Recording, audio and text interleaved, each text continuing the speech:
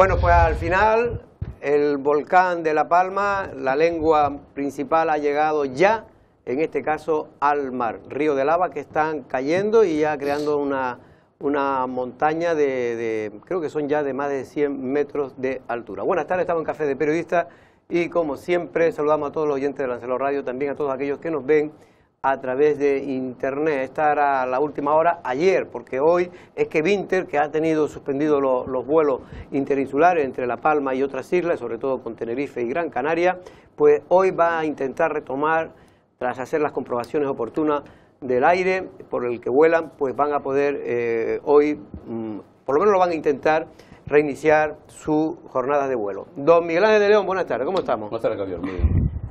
No tan bien como en La Palma, lógicamente.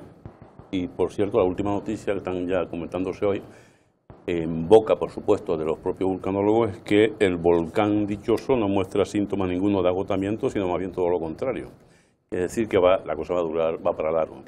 Bueno, eh, ayer teníamos a un sismólogo, en este caso del Instituto Geográfico Nacional, y él decía que, mm, que eh, la evolución que está teniendo el volcán es la, la, de, libro, vamos, que es la, la lógica que de momento no se sabe si va para arriba o para abajo, pero que está comportándose como estaba previsto. Don Manuel García Denis, ¿cómo estamos? Hola, buenas tardes, Jorge. Bueno, es verdad que el tema de llegar al mar, más allá del espectáculo, de lo que ha sido esta imagen, no sé si ayer tuviste la oportunidad de verlas en directo, eh, justo eran las, yo creo que eran las diez y media, once, puede ser. y dos minutos. Sí, bueno, yo estaba ahí casualmente viendo la televisión canaria y lo estaban emitiendo eh, en directo desde el barco que estaba a algo más de una milla de, la zona de, de, Tazacorte, porque eso eh, es el valle de Aridane, de, los valles de Aridane, pero él pertenece a donde ha caído el, la lava, pertenece a Tazacorte.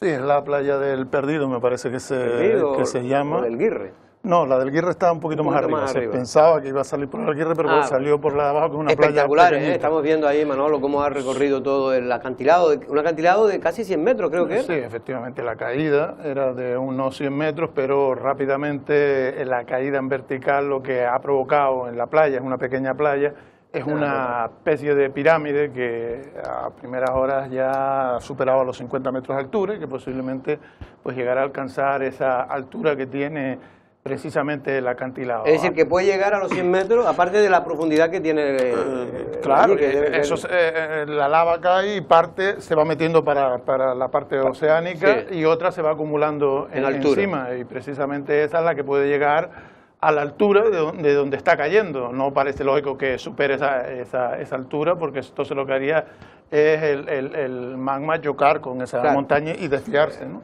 Pues tenemos una isla ya un poco más grande, desde anoche, la isla de La Palma en este caso, eh, eh, pudo generarse una nube tóxica, estaba, pues, tenía que ver también con otras variables, con otras, también con, obviamente con los vientos, y de momento eso no, no se ha dado, pero sí que sigue siendo importante. Ahí, como sabes, se ha eh, confinado a la gente en cuatro, cuatro o cinco pueblos de, de, esa zona, precisamente para evitar lo de los gases y no es sencillamente simplemente un espectáculo visual, que lo es, eso es evidente. También hay que, tener, hay que tomar muchísimas precauciones, aparte, por supuesto, ya, ya, han espantado a todos los periodistas, la Guardia Civil, la policía de ahí, de la zona, donde estaban todavía más o menos eh, es un punto... próximo. Eh, y, sí, sí, y entonces, eh, bueno, los gases tomando otras medidas. Es un punto crítico. Los, gases, los gases se, producen fundamentalmente porque eh, al chocar contra el agua, que como todos sabemos la fórmula es H2O, y al ser agua salada tiene cloruro sódico,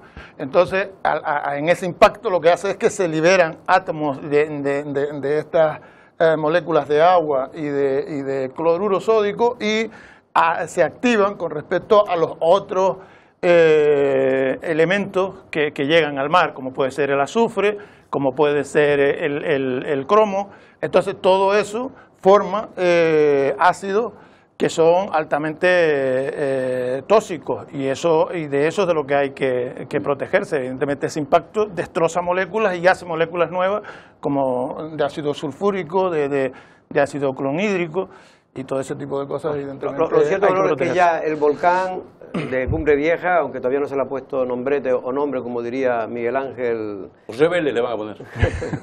Eh, hay gente que está apostando porque le pongan el nombre. El nombre Guanche, eh, en este caso. Porque todos los. Nombres hay varios también. Porque todos los volcanes de La Palma tienen, han tenido el nombre Guanche, aunque hay uno que le llaman de San Juan, pero, pero no el de San Juan, tiene un nombre realmente eh, Guanche. Pero bueno, en cualquier caso ha destruido ya 265 eh, hectáreas. 265 hectáreas. Casi, 800 eh, construcciones.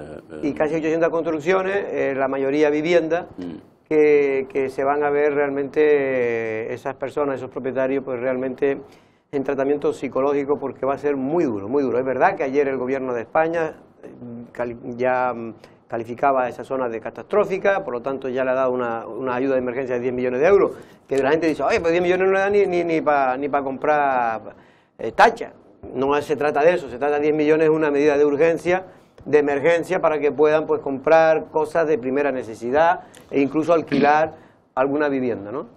Sí, evidentemente, al margen de que lo que se va a necesitar es un plan de recuperación, porque evidentemente esas 5 o 6 mil personas que han visto afectadas sus viviendas y sus lugares de trabajo, que son en este caso eh, la finca, pues habrá que darles una alternativa eh, debido a la destrozada por el, por el volcán. Pero sí está claro que además necesitan caja para, para, para, para vivir estos días, o para alquilar una vivienda, para comer, para todo ese tipo de cosas que antes cubrían con el sudor de su frente, que ahora no, no lo pueden utilizar porque evidentemente no están trabajando. Bueno, pues ya veremos, porque después vamos a, vamos a ir a La Palma, vamos a ir en este caso porque ahora esta última parte de la, del recorrido de la lengua, de la lava, de, está afectando a no solo ya las construcciones, a las viviendas, sino también a las plataneras. Está destruyendo mm, directamente fincas enteras de plataneras. Vamos a hablar precisamente con una persona propietaria, gestor de una finca platanera, en este caso ecológica, de esa zona que está en la zona de exclusión, es decir, que no pueden ir ni a trabajar la finca ni a hacer nada. Y lo más probable, ya no lo dirá él, es que esas fincas pues terminen muriéndose y por lo tanto perdiendo un negocio. el, tema del ocio nocturno, cambio ya radicalmente de, tema, ha salido una noticia que ha sido un poco confusa, Manolo. Sabes que el gobierno de Canarias había decretado ampliar el horario nocturno. Pero ¿qué pasa de esos establecimientos? Pero ¿qué pasa? Que le obligaba a su vez que tomaran una serie de medidas de control para poder ampliarlo, es decir, aquellas discotecas o bares nocturnos que, quisieran estar abiertos creo que hasta las 4 de la mañana, pues tenían que llevar un control, pedir a las personas que tuvieran un test de antígeno o tuviera, eh, estuvieran vacunados. Eh, esto al parecer mm, el Tribunal de Justicia, en este caso Superior de Justicia, ha creído que no es, que no es competencia de los propietarios de bares y restaurantes. Es contradictorio para los intereses de los, mm, de los propios eh, empresarios del ocio nocturno. Por una parte estaban de acuerdo, consiguieron mm, llegar a un acuerdo con el gobierno para esa ampliación y dentro mm, de esa ampliación iban eh, controles para garantizar la seguridad de quienes disfrutaban de la noche en sus locales. ¿Cuál es el problema? Que ellos ya se opusieron en su momento y fueron incluso contra las decisiones del gobierno por obligarle a llevar a cabo estas eh, medidas. Ellos entendían también en, aquellos momentos que ellos no tenían por qué estar haciendo funciones de autoridad eh, sanitaria. o sanitaria. ¿Y qué pasa ahora? Pues precisamente en ese acuerdo, paradójicamente, le da la razón el, tribunal para llevarles la contraria. O sea, evidentemente ellos no tienen por qué hacer esa medida y por lo tanto no puede abrirse durante más tiempo el ocio nocturno. Pero es llamativo que eh, la justicia, en este caso los tribunales, vuelvan a pronunciarse siempre en contra del gobierno, incluso cuando el gobierno ha tomado una medida aparentemente similar a las que en su momento estaba pidiendo pues esto la gente del ocio nocturno y tal, y que el tribunal, o sea, los tribunales hasta ahora habían siempre se habían manifestado también siempre en contra de las medidas restrictivas del gobierno. Ahora que el gobierno ha abierto un poco la mano, es el tribunal el que vuelve. Parece como que si hubiera una guerra sorda ahí entre gobierno y tribunales. Es verdaderamente llamativo, porque nunca coinciden en nada. ni, siquiera cuando le da la razón el propio gobierno regional. Nosotros hemos hablado, en cambio, Manolo, y después, porque es que hay contradicciones. Hemos hablado aquí con, una, con un propietario de, un local de ocio nocturno y está de acuerdo con el tribunal La sección segunda de la Sala de lo Contencioso Administrativo del Tribunal Superior de Justicia de Canarias en Santa Cruz de Tenerife ha suspendido el acuerdo del Gobierno de Canarias por el que autorizaba la ampliación del horario de cierre de la actividad de los establecimientos de ocio nocturno. La cuestión es que se recogía en el decreto regional que las discotecas o bares que quisieran acogerse a esta ampliación voluntaria debían acreditar que sus trabajadores y clientes tenían el certificado COVID de vacunación. Esto ya fue criticado en su momento por los empresarios de la noche. Si el Gobierno canario quiere darnos trabajo eh, libre hasta las 4 de la mañana y quitar restricciones, que lo haga directamente. No puede poner esa letra pequeña de nosotros vernos obligados a pedir certificados COVID. Eso es ilegal, ya lo comenté hace un par de semanas, es ilegal. Ni certificado COVID, ni PCR, es que ellos mismos no lo hacen ni en el propio aeropuerto ni, los, ni los muelles de, de Canarias. Yo iba a decir Lanzarote, pero en Canarias. No lo hacen. Como yo en mi local le pido eso a la gente. ¿A partir de qué hora? Cuando lleguen a las 3, a los que vienen a las 8 cuando abro, a los que vienen a lunes puede cenar. Si viene un grupo de 10, dos no me lo quieren dar, ¿qué hago? Discuto con ellos. ¿Pero qué necesidad es esta? Obviamente, si el gobierno canario quiere darnos libertad, que nos la dé. Sin condicionante, nada de letra pequeña. Estaba claro que el tribunal iba a tumbar eso porque es ilegal. Nos está obligando a cometer un delito. Y la propia policía o cuerpo de seguridad del Estado, si vienen a sancionarme a las tres y media porque tengo gente sin yo ver el certificado COVID, están cometiendo otro delito. Pues eso es prevaricar porque es una regularidad. Estaba claro que eso iba a caer.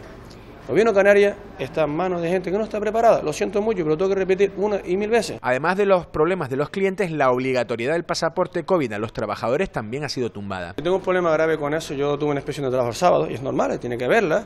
Y lo hablé con la, con la persona que hace las inspecciones, lo hablé con mi asesoría. Claro, es que estamos en un limbo legal brutal. La propia asesoría no sabe ni cómo hacerlo. Yo no puedo obligar a un trabajador a que me dé cierto certificado ni a que trabaje ciertas horas de más. ¿Cómo lo hago? ¿Lo contrato hasta qué hora? ¿Hasta las 12, hasta las 3, hasta las 2? ¿Les doy una hora más? ¿Y esa hora es extra? Eh, es una locura, es una locura. Yo llevo toda la mañana en papeleo con este tema de la asesoría. Eh, estamos desamparados, tanto nosotros como empresarios, como la propia asesoría, como las personas que tienen que controlar esta situación, ya sea la Fuerza del Estado o los inspectores de trabajo, porque dicen, claro, es que tu situación es complicada. Me piden las horas de trabajo, ¿cuál te doy? La de agosto, la de hace dos semanas, la de ahora, la de la próxima semana. Por otro lado, destacar que la Federación de Empresarios de Hostelería y Turismo de Las Palmas promoverá un recurso contra el auto del Tribunal Superior de Justicia de Canarias, al entender que esta medida ha sido eficaz y que los negocios han podido mejorar sus números e incluso recuperar a trabajadores que estaban en ERTES. Bueno, pues la verdad que es una situación compleja, no es fácil de resolver, uno entiende a las autoridades, pero también entiende en este caso al empresariado. No se puede convertir a los empresarios en inspectores sanitarios o policiales. Por lo tanto, yo creo que el tribunal, y ese es el sentido de la sentencia, creo que, ha acertado, aunque es verdad que la Federación de Ocio Nocturno en general lo que quiere es que abran, ¿no? Que abran y que se amplíen los, los horarios. Bueno, Manolo, no sé si sabes algo de que hay una especie de secreto, nadie sabe muy bien. Se cerraba hace unos días el aparcamiento, para que todo el mundo lo entienda, el de que menos que todo el mundo ha ido alguna vez a los aparcamientos de urgencia, se han, se han vallado y nadie sabe qué es lo que por qué se han vallado. Y lo cierto es que ya había problemas en ese hospital Manolo para aparcar y ahora pues se ha complicado el doble. Sí, es una de las cuestiones que hay que arreglar eh, ya del hospital de Lanzarote. Ni tan siquiera los trabajadores eh, tienen eh, aparcamiento, precisamente porque ya era bastante limitado. Y ahora, precisamente con las obras que se van a llevar a cabo en la zona de urgencia, donde va a ir un edificio que es precisamente para, para atender a casos como, por, ejemplo, el de, el de la COVID. O sea, mm. tener ahí especialmente una especie de de UCI pequeña y de, camas y demás para que no se tenga que ver todo el hospital bloqueado. Es una obra interesante, una obra eh, necesaria, lo que pasa es que tiene un impacto negativo en algo que ya lo era, que es el déficit que tienen de aparcamiento en el hospital. Una vez tuvimos aquí a José Luis eh, Aparicio, que es el, director gerente, algo nos dijo de esto, pero nos dijo que se iba a construir una especie de edificio de aparcamiento. Eh, claro, pero, pero, los edificios de aparcamiento, el problema es que no se improvisan. O sea, eh, hay que tener siempre respuestas para atender las necesidades a corto, medio y largo plazo. Lo del, lo del edificio de aparcamiento, evidentemente, es una apuesta interesante, necesaria, pero que en uno o dos años no, no va a poder entrar porque primero hay que construir el edificio. Lo que hay que eh, buscar un solar cercano que pueda atender esas necesidades, porque usted no puede ir a urgencia y dejar el coche a un kilómetro. Yo, la verdad es que yo creo que esta zona está ya, hay que hacer, el otro día lo decía el de la Cámara de Comercio, hay que llegar a un acuerdo con los propietarios de las fincas eh, que están pegadas a, la finca del hospital para, para agrandarla o buscar otro, otro sitio. Ya, pero sin matarse, ¿no? Tampoco las prisas nunca son buenas consejeras. El hospital se ha quedado pequeño, pero de hace solo 20 años. Tampoco hay que exagerar, hay que exagerar. volvernos locos. Tenemos ocho parlamentarios que están trabajando a piñón con este asunto, digo, en, el, en la Cámara Regional. Están trabajando tan eficientemente como en el caso de la inmigración ilegal, que también se están moviendo muchísimo. 18 pateras, pasado, supongo que lo habrán tratado ustedes ya estos días, ¿no? Pero bueno, 18 pateras, casi 600 personas que llegan apenas un fin de semana y todavía la clase política, sobre todo los representantes en el Parlamento, no ha dicho, y no digamos eh, la clase gubernamental, lo que afecta al Cabildo, al Gobierno regional y al Gobierno nacional, seguimos todavía esperando algún posicionamiento, no digamos ya alguna toma de postura, alguna medida para que, por ejemplo, funcione la tontería esa de la vigilancia del CIBE y, demás. Bueno, me va a permitir, Miguel Ángel, que vayamos ahora directamente a La, a la Palma. Ahí está Fran Garlas, es eh, biólogo, además es gestor de una, de una finca, ecofinca en este caso, de plátanos, allí en esa zona de, de Puerto Nao. Buena, buena, buena, ¿de Puerto Nao no? En este caso, como no sé si es... Buenas tardes, Fran, ¿cómo estamos? Buenas, sí, es la finca está en Puerto Naos, aunque ahora no estamos en Puerto Naos, dado que está en zona de exclusión y hoy no podemos pasar allí por la posibilidad de que gases estén por la zona. Es decir, eh, ustedes están alejados todavía, esa finca está alejada de lo que es el, núcleo de la, de, la, de la erupción, pero está en la zona de exclusión. Sí, eso es. No, no nos pilla por ahora y si no se comporta de otra manera el volcán, no nos pilla justo en el camino de la lava, pero sin embargo eh, las cenizas y ahora la presencia de los gases derivados del conjunto de la lava y el agua del mar sí que puede afectar. Las afecciones que tenemos van de eso, de no poder llegar a las fincas y de no poder regar. Vamos a ver cómo lo hacemos. Por eso, ah, vamos a ver, antes de nada, la, erupción, la erupción ya está cargándose, ya lo hemos leído, pues varias fincas, ¿no? A su paso hacia, hacia el mar, ¿no? Así es, así es.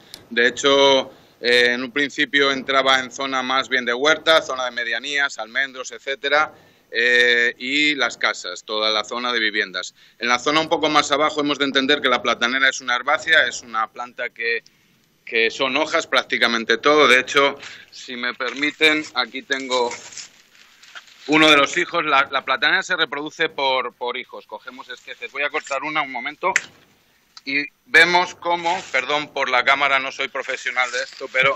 No, lo estás haciendo bastante bien. ¿eh? la, tiene muchísimo agua, ¿de acuerdo? Esta, a ver que me oriento la cámara. Sí.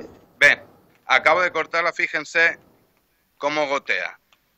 Esta planta son uno de los hijos que tenemos que cortar, elegimos cuál, cuál es el mejor para el año siguiente. Bien, la cuestión es que bebe unos 30 eh, litros de agua al día, 20-30 litros de agua en función de, de cómo esté el clima necesita mucho agua. Esta planta puede estar una semana, dos, incluso tres sin regar, pero a partir del mes empieza a, empieza a presentar realmente problemas y podemos perder no solo la cosecha, que ya está perdida, vamos a perder lo que es la, planta. Tenemos que volver a resembrar todo esto. Por ahora, la lava es verdad, ha llegado al mar y ha pasado por encima de los conductos que tenemos em, para, para transportar el agua.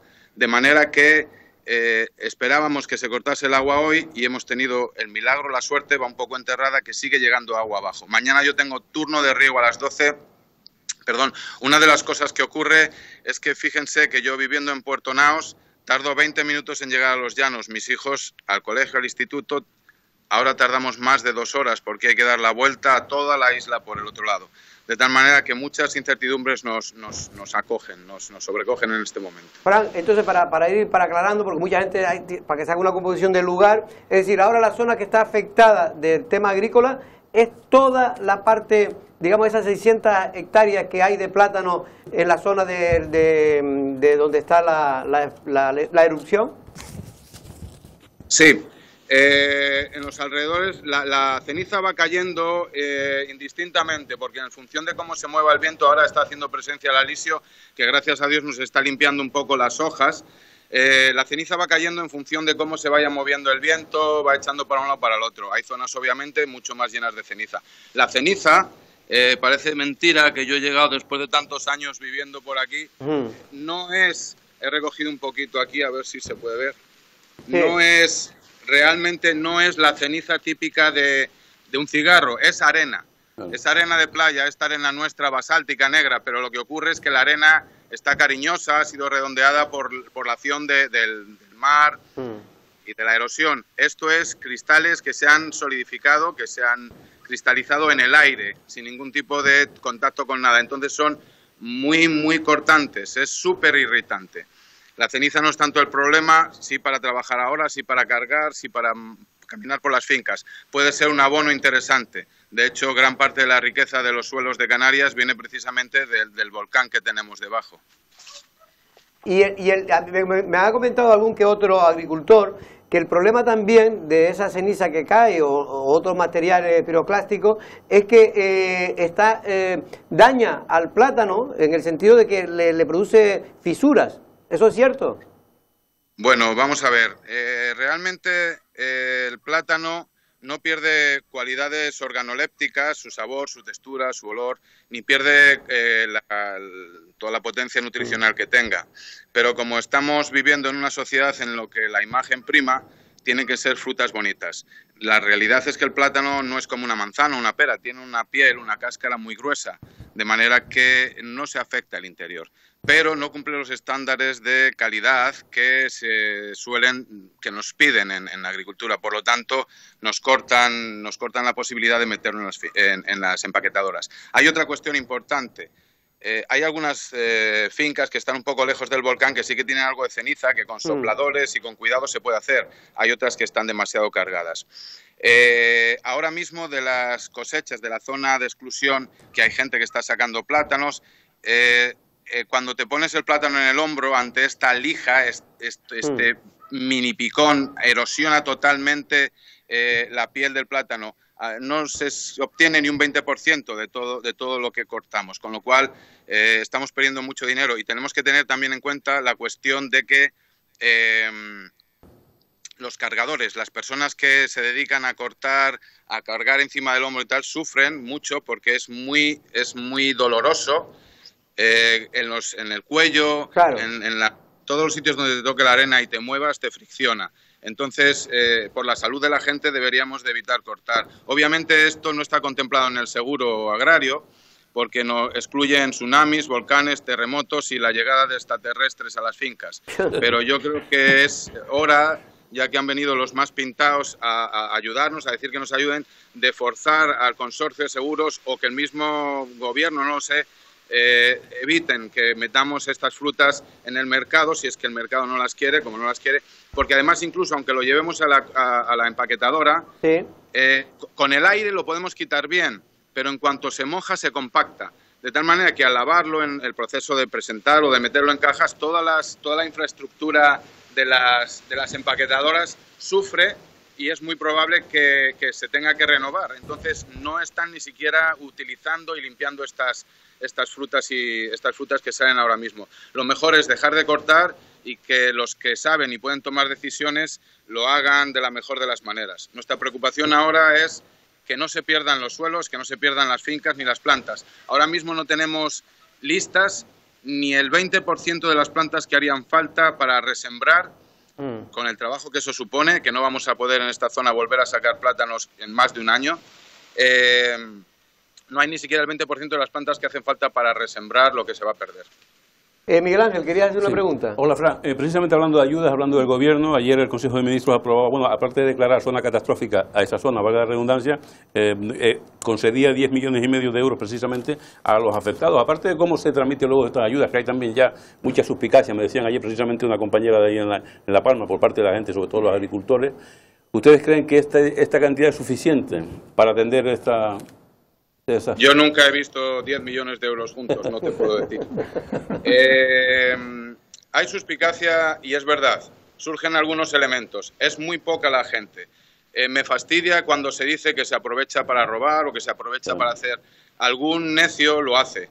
Lo que estamos viendo aquí es que el volcán, aparte de desgracia y de lava, está expulsando amor. La solidaridad, el hecho de estar en el punto de control, las, las autoridades funcionando con un rigor absoluto, con cariño incluso, pero con rigor, están ordenando muy bien la circunstancia y ves en estos puntos de distribución que te dejan pasar para, para el riego o para llegar a casa y coger lo básico, tienes 15 minutos, sales, te acompañan con un coche, te ayudan.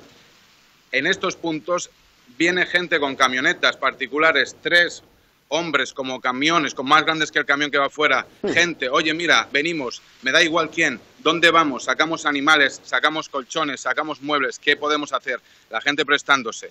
Llegando a los llanos, mira, eh, cansado, agotado, el otro día eh, me acosté en el coche un momento para...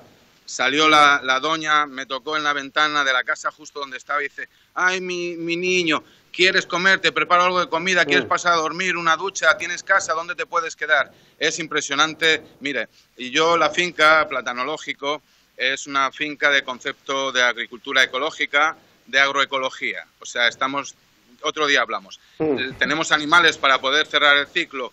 Nos, el Ayuntamiento del Paso sobre la marcha nos llamó, oye Fran, los burros, ¿qué pasa con ellos? Te llevamos unos camiones. Ah, venga, gracias. Bajaron los camiones y los llevamos a la Feria del Paso. Ayer mismo para liberar también la feria de ganado del paso, porque más rebaños, cochinos, conejos, gallinas, bueno, todos los bichos que, hay por la zona eh, se están acogiendo allí. Entonces, para liberar ese espacio, yo me llevé a los míos al norte, a García.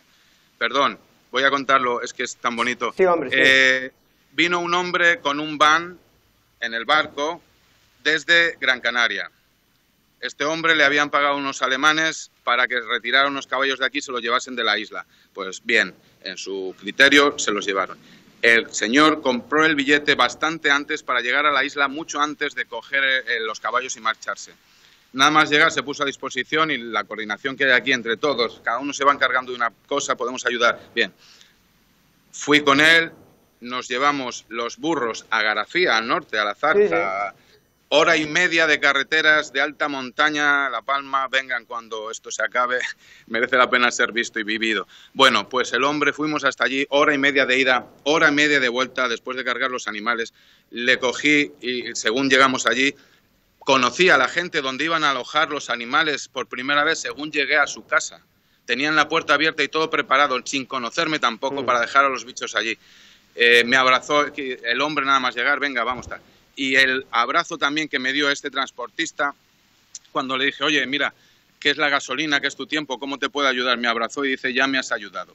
Los gestos que se están viendo aquí, la forma de trabajar entre la gente, no es, no es lo que tiene que permearse. También otra cosa, quiero decir que no es la, falta, el, tonto que hizo aquella cosa mm. mala. Los medios de comunicación han estado a un tris de salir a patadas de la isla. Al principio entraron de una manera que fue terrible. Nosotros con las lágrimas en los ojos, con el corazón compungido y pidiendo, de verdad, fue terrible. Mm. Ahora parece que ha tornado en otra forma más informativa, más de ayudar, más de prestar, más de estar encima y de dar la noticia. Pero lo que se está viendo aquí es... Eso, eso los medios de comunicación, evidentemente, al principio lo vieron como un espectáculo. De hecho, por desgracia, hay ciertas autoridades que, que sin querer, pues también e inicialmente pues no vieron lo que es un volcán en una isla, que es una desgracia en este sentido, ¿no? El volcán es una desgracia y es una oportunidad. somos volcán, somos volcán y no puede pasar y, no, y, lloramos cada minuto. Pero si sepan que Canarias no son siete islas, no son ocho islas. Canarias son catorce islas.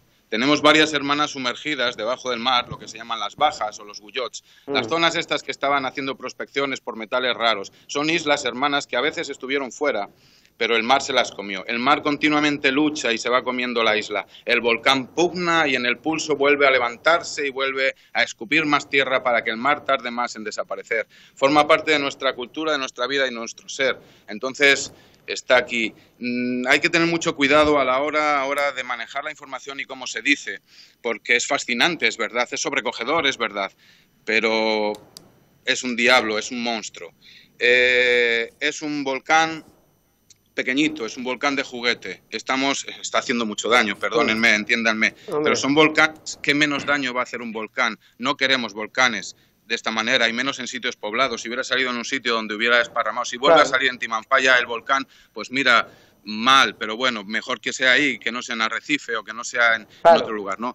Entonces la cuestión es que ha salido en un sitio que ha dañado mucho. Pero nos comentaba la directora de, proyectos de, investigación, perdona, del, del ETNA, que eh, se parece mucho a la crisis más pequeña que han tenido en este volcán en los últimos 10 años. Es un volcán más o menos controlado, es tromboliano, mm. típico volcán como la montaña del Cuervo o muchos de los de Timanfaya, en los cuales se, expulsa mucho material piroclástico que forma lo que es el cono y lo demás derrama, ya sea por el volcán o por las bases del volcán en fisura y salen estas lenguas, estas coladas de lava como, bueno, estamos ya cansados. Bueno, no cansados porque esto es fascinante, es como mirar al fuego, te quedas hipnotizado, pero ya hemos visto unas cuantas veces por televisión. Fran, de verdad que te agradezco, además de que has explicado muy bien y sobre todo has emocionado a mucha gente con lo que estás eh, contando, porque realmente eh, es mucho el drama que se está viviendo también en muchas familias que lo han perdido todo. Buenas tardes y mucha suerte. A su disposición, muchas gracias. Hasta luego. Bueno, Fran Garlás, en este caso, que está llevando una ecofinca de plátano en, en, La Palma, en la zona de Portonao.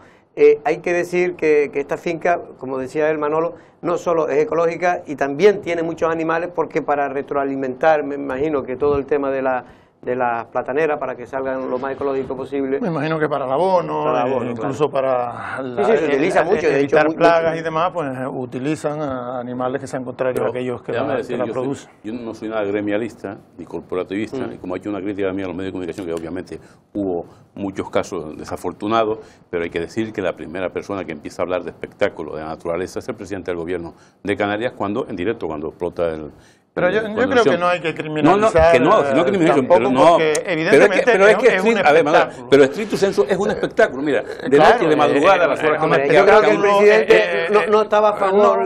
No, a favor no está nadie. A favor de que el volcán estallara. No, esto faltaba. Ni quisiera el daño que ha hecho. Pero que se entiende desde el punto de vista de que a lo mejor quieres tranquilizar a la población, precisamente. Pero estás hablando. La señora Maroto, la peor todavía, porque lo digo dos días después. Y ya podía haber Bonito, eh, Vinte, no sé si lo has dado ya, ahora han dado ya los vuelos con la Sí, lo dije al principio, ah, que tenía previsto reanudarlo. Tenía previsto porque había mejorado las condiciones bueno, pues, eh, meteorológicas. Sí. Pero mm, yo creo que no hay que criminalizar, sino, sino entender eh, el proceso. O sea, nosotros no podemos evitar que llueva, tampoco podemos evitar una erupción volcánica. Si vivimos en islas como las Canarias, tenemos que saber que parte, o gran parte, primero, la propia existencia de la isla se debe a erupciones eh, como la que estamos viviendo. Las atracciones de Lanzarote tienen mucho que ver.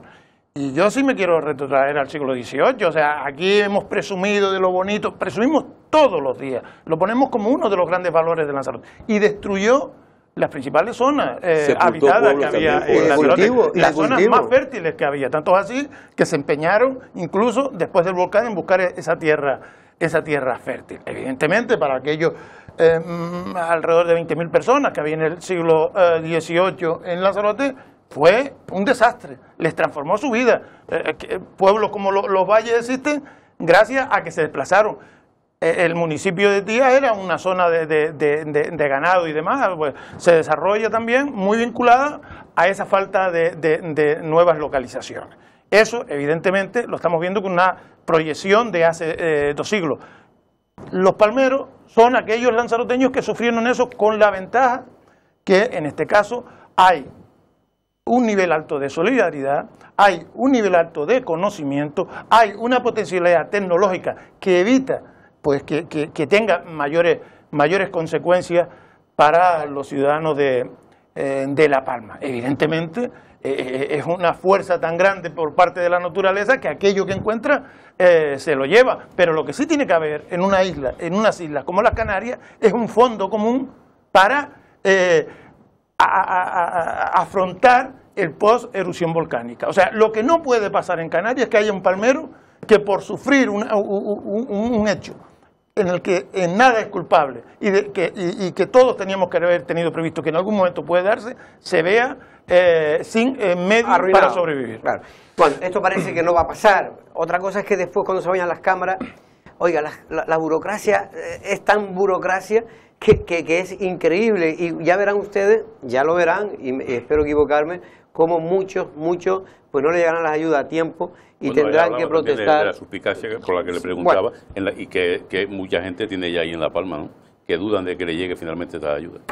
Bueno, vamos a dos minutos a publicidad y vamos a hablar porque parece que, que el COVID se ha terminado y realmente el COVID está controlado, eh, no solo en España, sino en prácticamente toda Europa, pero también todavía quedan secuelas.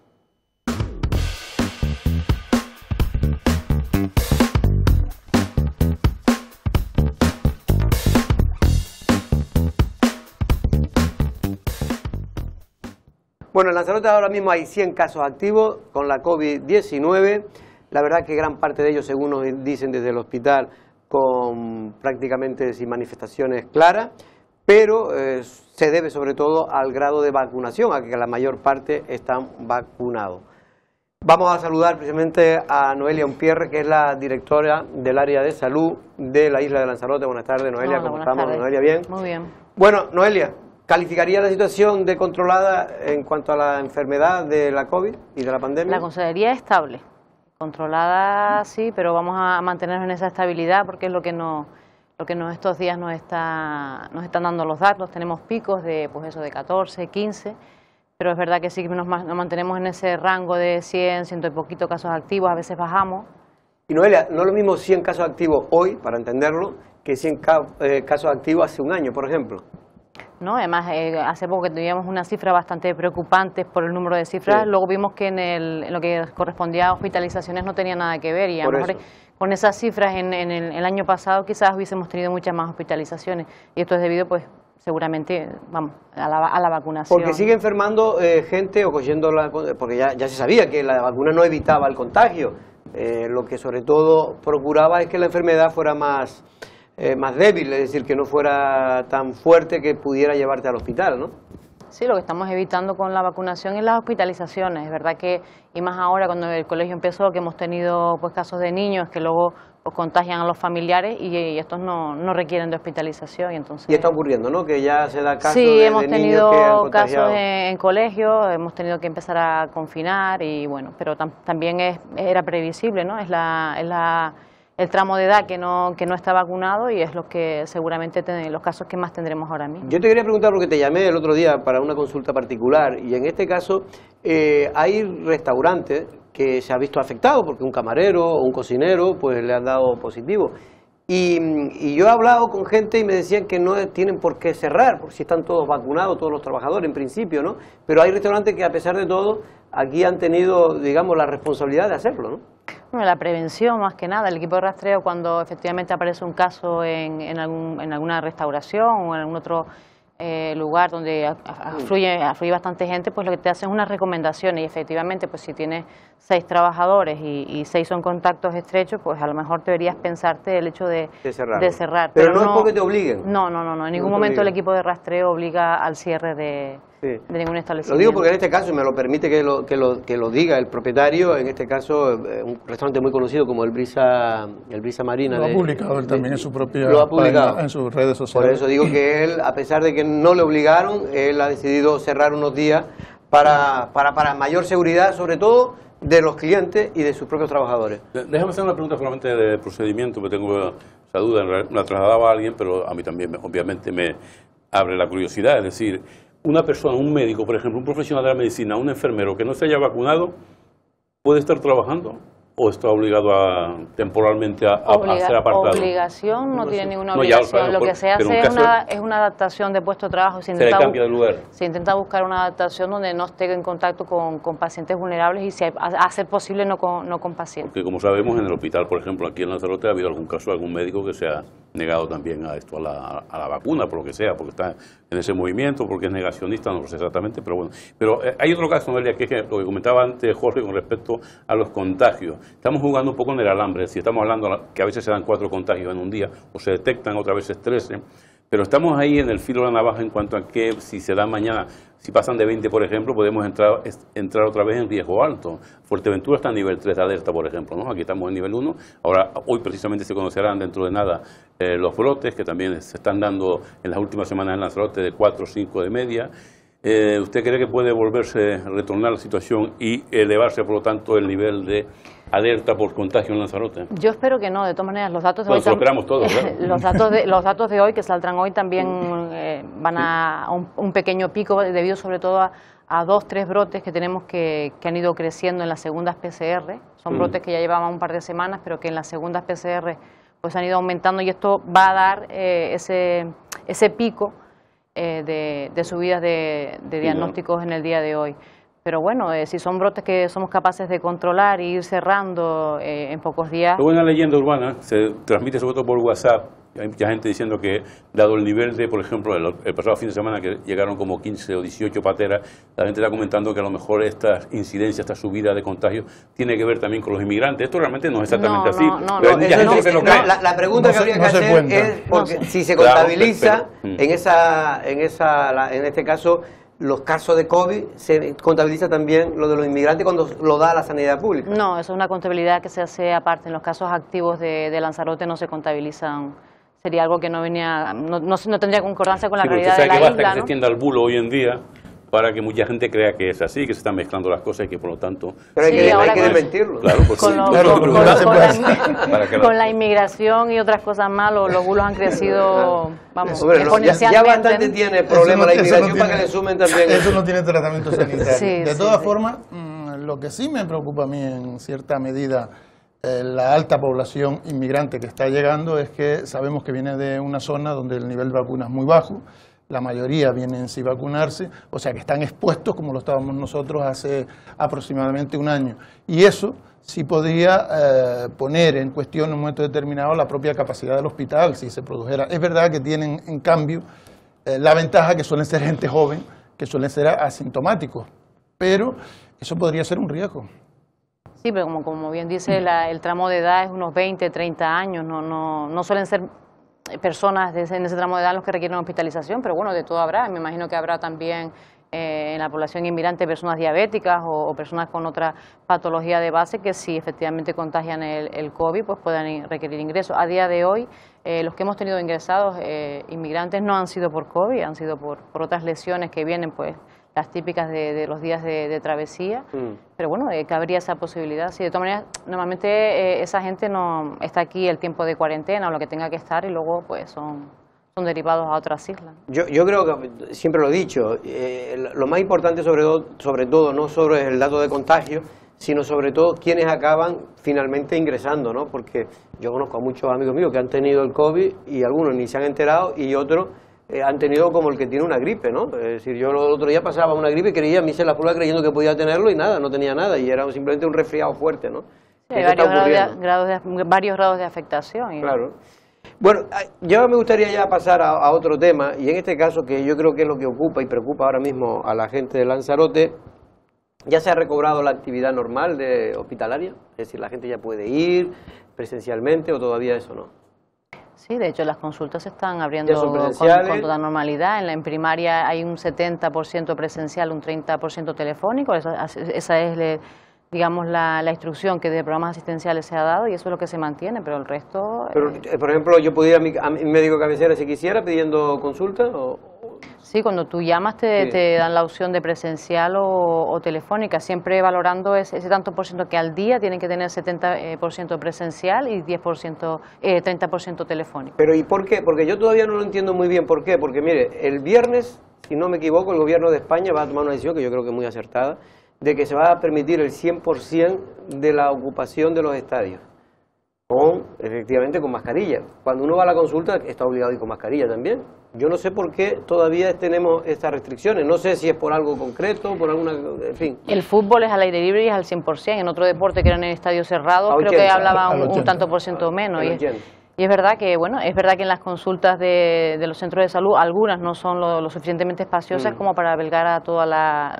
Yo me imagino que será para proteger al, más al personal sanitario, ¿no? De evitar que coja... Al personal y al propio, paciente. que es el que viene enfermo a, las, consultas, ¿no? Y, Eh, en Lanzarote tenemos también la, buena costumbre de ir al médico antes de la hora y a veces pues acumulan, acumulan pacientes en la consulta que, no, es lo apropiado. Y en cuanto al crecimiento del hospital, se ha hablado mucho. El director gerente ha dicho que hay un proyecto para ampliar el hospital general actual de Lanzarote. Ya se ha descartado, por lo que él me dio a entender, la posibilidad de hacer un nuevo hospital en otra zona, ¿no? No es que se haya descartado, es que no tenemos suelo. Eh, así que se le ha solicitado al Ayuntamiento de Arrecife que en un futuro plan general pues lo tengan en cuenta. Eh, más que nada, por, pues no sé, dentro de 20 años no tengamos este problema de no tener el suelo. A lo mejor no, no es necesario o estrictamente necesario hacerlo ahora, pero sí que yo creo que corresponde tener un suelo sanitario para de aquí a 20 años no tener los problemas de, de espacio. Y con los aparcamientos que está pasando, comentaba antes Jorge precisamente que no, nadie le sabía responder lo que se está haciendo exactamente ahí en la zona de aparcamiento, que también otra zona conflictiva. lo que ha hecho es que se ha vallado el aparcamiento y se, está, y se está haciendo una obra. hay, una obra allí. Hay, una, obra. que la Consejería da las explicaciones en, en poquitos días. Es una obra de, mucho interés. Que está llamando la atención que, que, la, que la Consejería no quiera desvelar el, el, secreto, porque si es una obra, y creo que por lo que a mí me cuentan, Fuente del Hospital es una obra que va a salir todo el mundo contento porque va a ser muy positiva para la población en, cuando, se cuando se haga y se termine. No sé por qué no se, se da a conocer. Porque, por la situación de, esa infraestructura en sí. Ahí estamos viéndolo. Esa, la, bueno, estamos, viendo la zona que se ha vallado y donde va a ir unas nuevas ampliaciones del hospital, por lo que nos han dicho, vamos aunque no nos ha concretado qué tipo de, obras son. Por el tipo de infraestructura yo creo que es mejor que la, que la consejería de todos los detalles, porque además no, no es solo en la isla de Lanzarote, creo que a nivel de otras islas y creo que es mejor que la consejería de...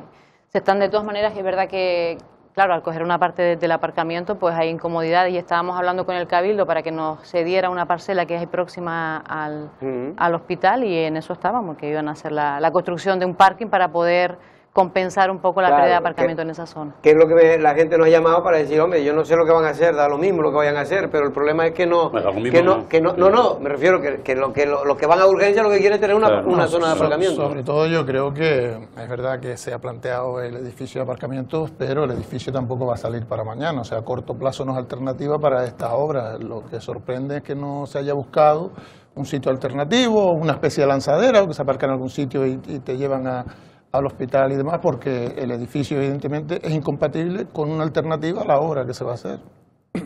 Pero el edificio había que sacarlo pronto. Eh, ya, entenderán por qué el edificio había que sacarlo pronto y además eh, contábamos con la opción de que el Cabildo eh, pudiera tener la obra de, ese aparcamiento anexo en próximos días y, ahí contamos. Sí que es un, es un problema de, de, aparcamiento, es lógico. También es verdad que ahora todo lo que es el personal administrativo y que no es asistencial directamente con el paciente está ubicado en otro en otro edificio y eso pues también eh, aminora un poquito el problema de aparcamiento, pero es verdad, es una zona además que está cerca de, la, de las urgencias y habrá que resolver.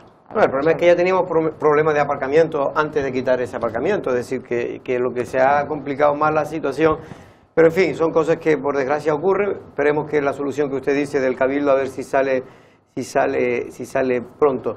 El aumento de las camas UCI es otro de los problemas que se, precisamente se ha puesto en evidencia con esta pandemia. ¿Eso está probado ya que se va a aumentar?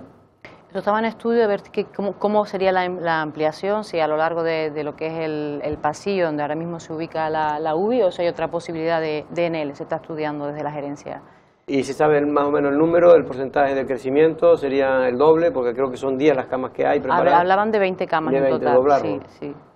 Sería una buena, una buena noticia. Manolo, ¿alguna pregunta? Sí, se habló en un momento de, la, de lo del planteamiento de la eh, hemodinámica y eh, no se ha sabido nada más del tema, ¿no? O sea, no, no se ha desarrollado esa actividad en el hospital.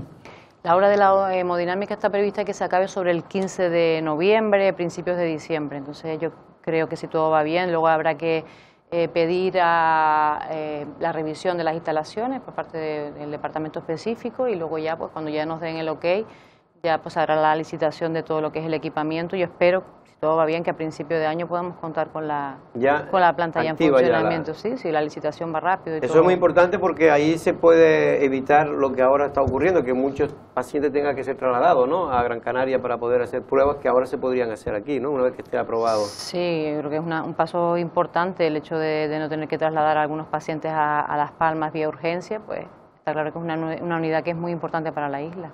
Sobre todo el tema del corazón, ¿no? La gente que tiene... Sí, temas cardio, cardiovasculares mm. y ese tipo de...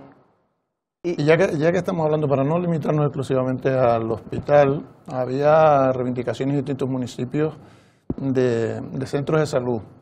Eh, en esa línea hay alguna novedad que no conozcamos, o sea, en el hecho de si, eh, por ejemplo, en el de Yaiza están ya reclamando que se abra el del, pueblo, si eso lo va a hacer eh, próximamente. En, en Costa Teguise me parece que pedían uno un centro de salud.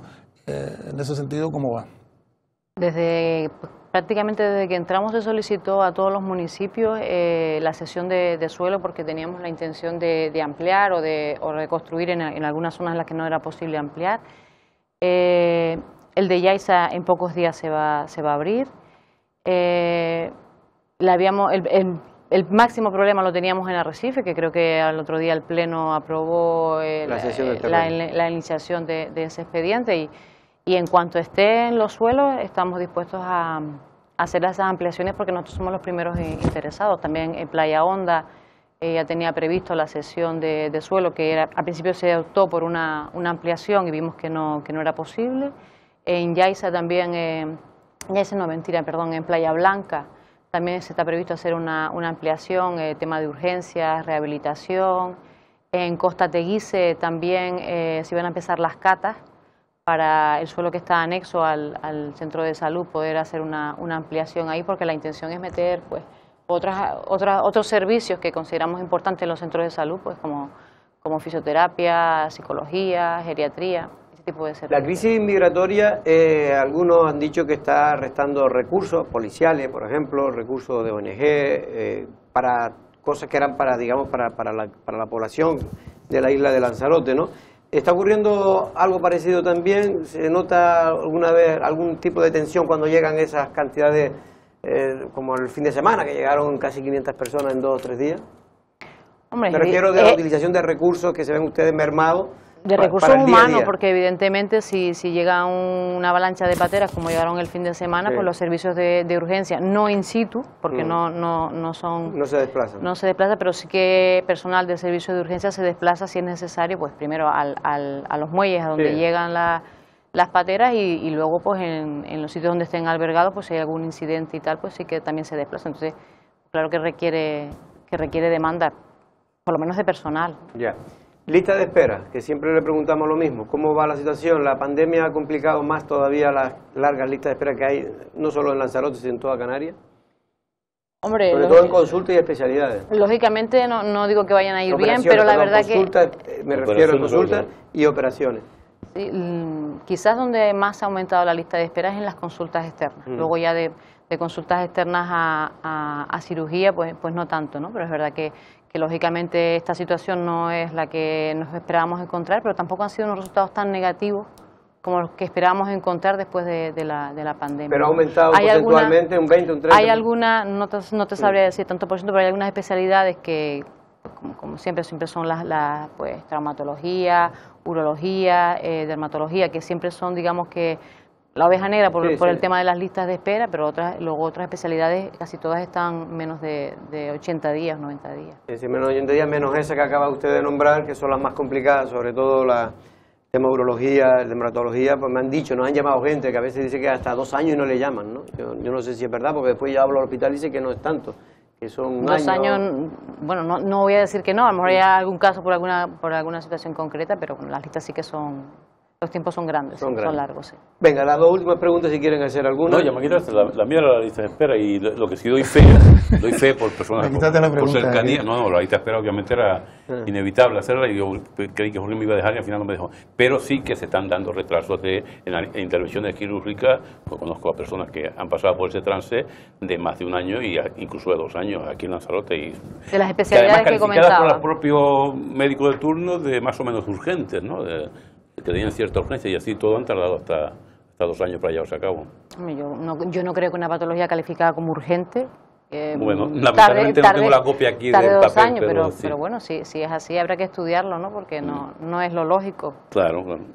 Y la percepción que ha tenido las personas, ustedes suelen hacer encuestas, ¿no? A, a, a, a los usuarios del hospital a los enfermos eh, es satisfactorio porque normalmente siempre sale una vez que entran en el hospital dicen que eh, aumenta eh, la satisfacción. el, usuario en lo que no está lo que no está contento es en el momento lo que tarda en entrar. Una vez que entras en el sistema yo creo que es raro la persona que, que no esté que se, que, se, que se quede a gusto ¿no? con el yo creo que la, la, sanidad es una profesión, una profesión de vocación, ¿no? Y normalmente, pues, el trato siempre, siempre es bueno. Yo hace justo un año tuve la, experiencia, toda mi vida nunca he tenido, la suerte de no tener que, ingresar en el hospital y, la verdad que fue, la, una vez que entra, el trato es, exquisito, aunque sí es verdad que ya ves que, que el hospital, el edificio en sí, está ya, como decía uno, le merece ya hacer un...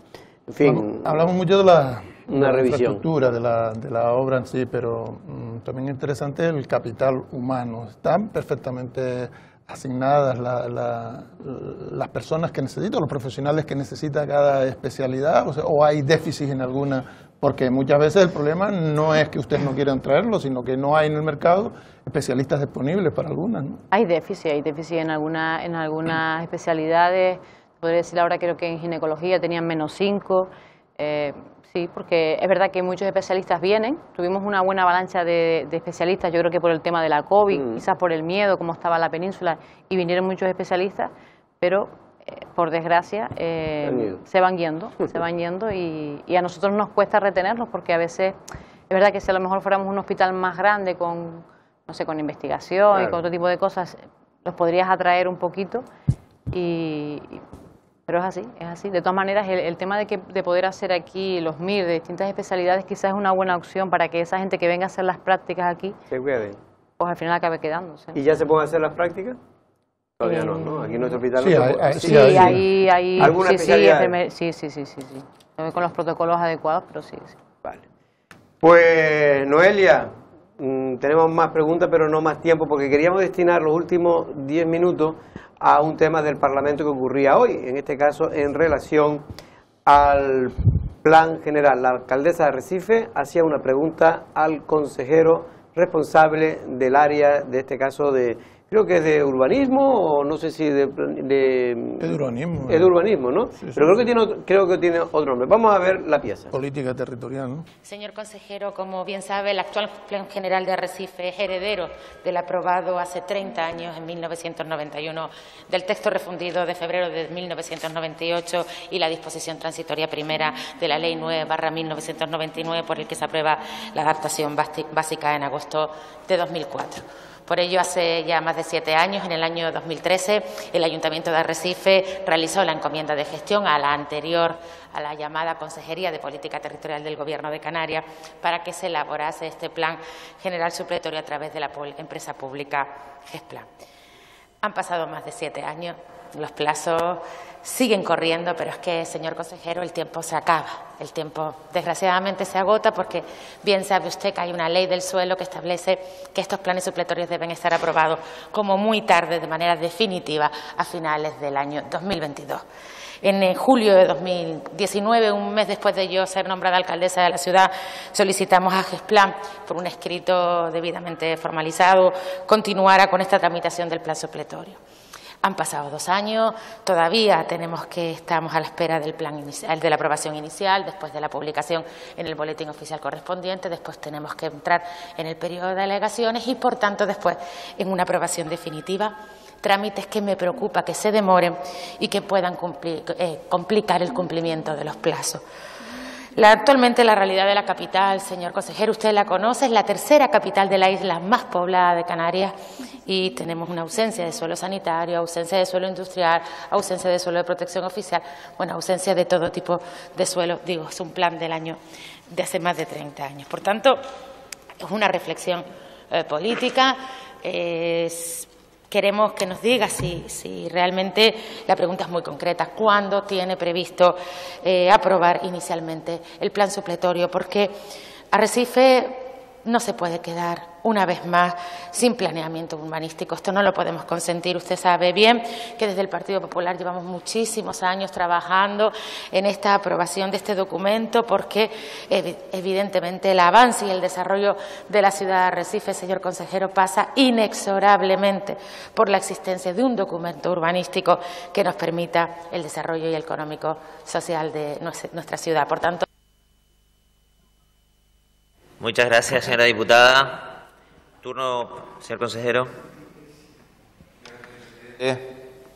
muchas gracias, señora diputada y a la alvez alcaldesa del municipio de Arrecife. Primeramente, yo creo que hay que lanzar un mensaje de tranquilidad tanto a la propia corporación local, eh, encabezada por usted, como a los vecinos del municipio de Arrecife. Como usted sabe, se está tramitando actualmente el decreto ley 15-2020 en forma de proyecto de ley y precisamente para evitar ese, esa espada mocle que había del año 2022 en la tramitación de los planes supletorios, se ha introducido eh, una enmienda de manera que ese plazo se va a alargar. Se va a alargar lo suficiente y que nos va a permitir poder aprobar el plan general de forma definitiva en el momento, dentro de ese nuevo plazo que se va a establecer, si ustedes lo tienen a bien, en esa aprobación definitiva de ese proyecto de ley. Los planes supletorios, como usted sabe, son instrumentos que vienen de la anterior legislación del suelo, son instrumentos complejos de poder desarrollar y en el caso del municipio de Recife, como usted muy bien ha dicho, se retoman los trabajos en, este mandato, en julio del 2019, y se empiezan a tener una serie de reuniones técnicas entre eh, el ayuntamiento y la consejería al objeto de definir ese documento final que se definió en marzo de este año. A partir de marzo se ha tramitado, se ha hecho la redacción definitiva del documento que finalizó en julio de este año y ahora hay que someterlo a las distintas fases que son eh, la información pública de ese documento, la consulta a las administraciones y los informes preceptivos. Y en función de lo que sea el, volumen de alegaciones y de comentarios y de observaciones que planteemos, que aunque se plantee, podremos estimar cuál va a ser una fecha definitiva. En cualquier caso, lo que sí le podemos garantizar desde el Gobierno de Canarias que esa fecha será dentro de los márgenes, pero sí es verdad que vamos a necesitar esa modificación del plazo eh, que está previsto en el Decreto Ley 15-2020 para poder tener ese margen, no por el caso de Arrecife, sino por todo y cada uno de los documentos, planeamientos supletorios que actualmente están en fase de elaboración por parte de la Consejería. Bueno, para que todo el mundo lo entienda, esto lo que significa es que no va a haber plan de arrecife. Así de claro se los digo. Es decir, todo este rollo que ustedes han oído aquí es para que al final, después de estar más de, llevamos pues intentando sacar este plan supletorio en unos 8 o 9 años, ahora nos cuenta el señor consejero de Transición Ecológica, que no tendrá el culpa porque esto lo ha cogido él, de que va a tener que pedir una prórroga porque si los planes supletorios no están aprobados, no solo el nuestro, todos los planes supletorios de Canarias antes de octubre del próximo año, en todo su proceso, pues decae. Quiere decir que ya todo el trabajo que hemos hecho, todo el dinero que no hemos gastado, que nos gastamos con, María Isabel Leni, que se tiró a, a, la basura, luego el que se gastó para realizar este plan estando el Partido Socialista con Coalición Canaria, ahora el Partido Popular con el PSOE. Pues todo esto a la basura otra vez, con la necesidad que tiene Arrecife de tener ese plan general para todos. Mire, tenemos problemas en el tema de, los, definir los espacios industriales, las zonas comerciales. Pues todo esto que se podía arreglar con ese plan supletorio, por lo que estamos oyendo y por el andar de la perrita, podemos decir casi con seguridad que no va a haber plan para este año, mil, es decir, hasta, hasta octubre de 2022 no va a haber plan. Y si no lo hay, lo más probable es que decaiga.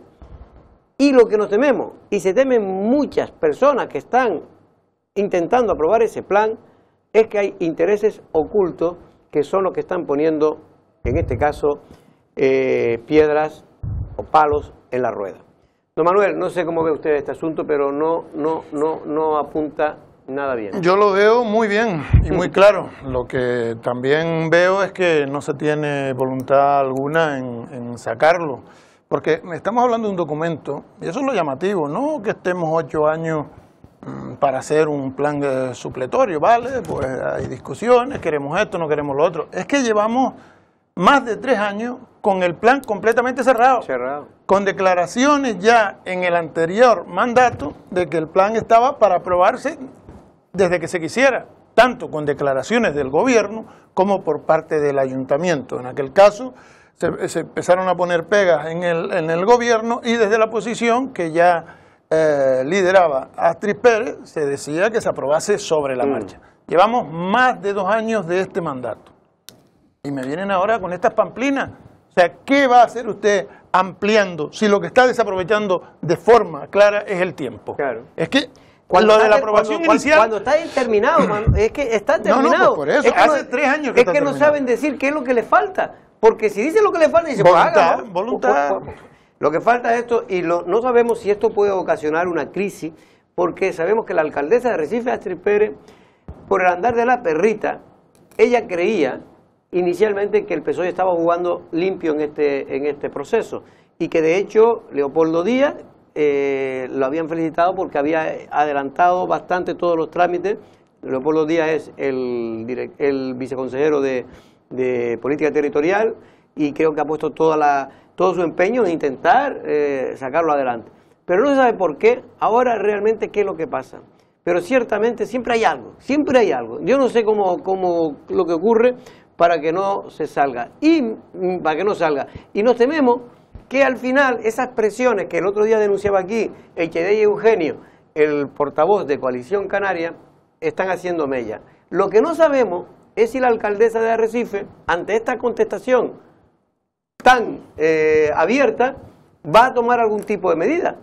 Va a presionar, va a hablar con la presidenta del Cabildo, con Dolores Corujo, que es una persona que tiene una ascendencia importante en el gobierno de Canarias que no tiene. Tremenda. Eh, a, mí, yo reconozco... Lo que digo es que si quisiera doña Dolores Corujo, y si esto le fuera la vida al Partido Socialista, le puedo asegurar que este plan supletorio se aprobaba en tiempo y forma, en el año que le queda, porque no le queda más tiempo.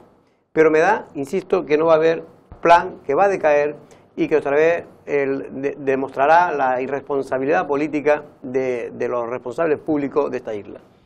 ¿Qué iba a decir además de sí, Yo reconozco que me da una pereza tremenda hablar sobre, como diría el escritor canario Juan Cruz Ruiz, el periodista, eh, sobre la nada echa pedazos, es hablar por hablar. Todos sabemos que todo es un paripé. La misma postura de la propia Astrid Pérez es un paripé. La respuesta a la pregunta que está haciendo en el Parlamento la tiene cuando se sienta en el avión con la que tú acabas de nombrar. Ella sabe la respuesta. Otra cosa es que no tenga la suficiente grado de confianza como para decirle eh, lo que hay lo sabemos todos, o por lo menos lo intuimos. Por eso me da esa pereza. Me da la misma pereza que seguramente la audiencia cuando escucha la palabra el plan insular tal, porque sabemos que es hablar por hablar. Y con respecto a esta postureo. Eh, además, en el caso concreto de Astrid, con su pacto con el Partido Socialista, es que además está atada de pie y mano, porque realmente no puede decir lo que piensa. Seguro que piensa algo todavía más fuerte que lo que acaba de decir ahí, pero no puede decirlo porque ese pacto la tiene atada de pie y mano. Y como en el pacto, quien lleva toda la ventaja es el PSOE, porque si mañana se rompe, por ejemplo, en el Ayuntamiento de Recife, el PSOE va a seguir conservando la joya de la corona, que es el Cabildo, le trae sin cuidado. La que tiene toda la de perder, la que está en situación, eh, obviamente, de debilidad, es la propia Astrid. Y el PSOE sigue toreándola. Ya sé que todo el término torear ya es políticamente incorrecto, pero es más o menos lo que está haciendo con el Partido Popular. Lo que está es mareándola más que toreándola. la perdí, bueno, como quiera. Bueno, Manuel, ya veremos. Por cierto, que aunque esto ya no tiene nada que ver, pero como a don Miguel le encanta la prensa rosa, decir que la boda de Maribel Pantoja, que Anabel. estaba Anabel, Anabel no, Anabel que está aquí en un pantallón, por cierto hay que decir, lo lamento también, ella eh, juraba y perjuraba que no había exclusiva, la que confirma la publicación que confirmaba hoy que se suspende es la revista Hola, que es la que tenía la exclusiva, y por lo tanto la, que, la exclusiva me refiero a hacer todo el, asunto este fotográfico, las portadas y tal, exclusiva millonaria. Eh, la graciosa en, gran parte debe esta celebración y sobre todo el hecho de que en los medios, sobre todo estos medios de información, aunque también los medios de información general. Pero mira, usted me intenta, me, da, es que la gente no, sabe, no, sabe, boda, no sabe, la noticia es que se ha suspendido la boda que se iba a celebrar el viernes por la tarde en la isla de la Graciosa, en concreto en Pedro Barba, donde ella ha alquilado, pues creo que son dos chalets para celebrar después lo que es la fiesta, pero la ceremonia la quiere celebrar en la playa.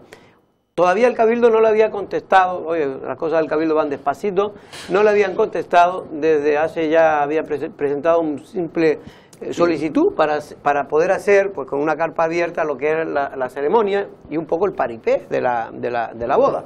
Pero eso todavía no se sabe, aunque hoy fuentes del Cabildo nos no aseguraban que hoy mismo o mañana se le iba a dar el permiso. Pero ahora ya creo que da lo mismo, porque se ha... No, porque se celebrará... No, porque ha fallecido, ha fallecido la madre de la Pantoja y por lo tanto se ha aplazado la boda. Esto es lo que nos cuenta fuente cercana a la organización.